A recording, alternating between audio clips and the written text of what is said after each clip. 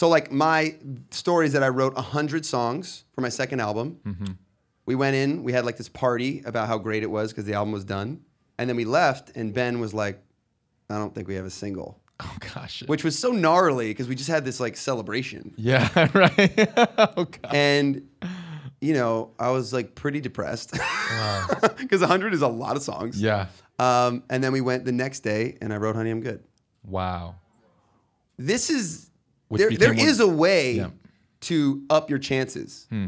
of the people sitting in this room who's going to write 100 it gets real small fast Yeah. Yeah. like the amount of people that will actually write 100 songs gets you into a pocket where you're like really competing with other psychos and then your chances of, of catching something, like anyone in this room who's a songwriter if you write 100 you will have a much better shot Hmm.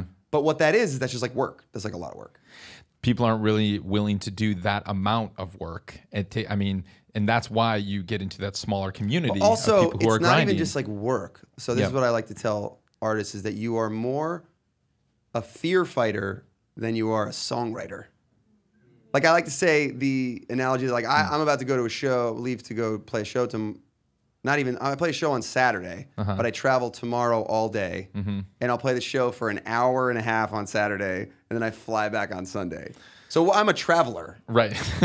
yes. and then i play some music Right. for a little bit there sure. and the analogy is that as an artist, you're a fear fighter, and like sometimes you write music.